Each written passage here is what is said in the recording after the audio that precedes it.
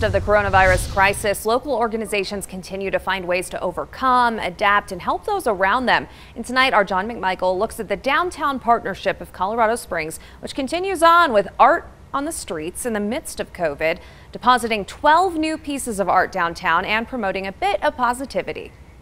For 22 years, Art on the Streets has placed inventive creations in Colorado Springs, and even crisis couldn't stop that from happening. We just couldn't imagine with everything else that's going on not giving people that thing that they so look forward to. And in a time where there's so much negative, it's good to be reminded of the positive. I think art shows that there's life occurring. And I think those little moments where you see people out living, um, creating and, and, and, building for a new tomorrow is, is a promise and, and, and a hope that, that carries a lot of weight. A promise especially important while we feel isolated or disconnected. Art is a great convener because we can all look at a beautiful piece and we can all feel something about it and look at each other and see that we're each experiencing this in our own way. And that is so powerful, especially when we're having to remain apart. This year, we're getting 12 new pieces, each accompanied by an app driven audio tour.